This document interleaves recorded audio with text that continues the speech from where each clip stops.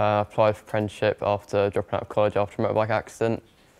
I spent a few times looking at different apprenticeships and decided medical fitting would be quite an interesting one to go into. My course is for three years. It's a level three engineering fitting course. I'm currently doing eight months in on a three-year course and it's going all right so far. One of the things I like most about coming to work is the innovation of medical industry. Given the choice, I'd rather be at work five days a week over three days here and two days at college, but I do understand the academic side of having to do the college work. Yeah, I enjoy being busy here.